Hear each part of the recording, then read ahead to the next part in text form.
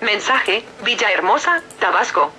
Las encuestas de salida serán reguladas por el Instituto Electoral y de Participación Ciudadana de Tabasco, aseveró el consejero presidente provisional, Gustavo Rodríguez Castro, quien añadió que al momento no hay solicitudes de empresas para aplicar este instrumento que permitirá conocer la evolución de la jornada electoral aclaró que los candidatos no están facultados o autorizados para dar a conocer encuestas de salida, sino que se hará por medio de aquellas empresas que estén interesadas en participar y que en su momento lo soliciten al Instituto Electoral, de otra manera no podrán hacerlo. Para ello añadió tienen que contar con la autorización del IEP como órgano que organiza la contienda electoral. Indiscutiblemente que si no cuentan con ese permiso no tendrán la oportunidad de poder aplicar las encuestas de salida en la elección local.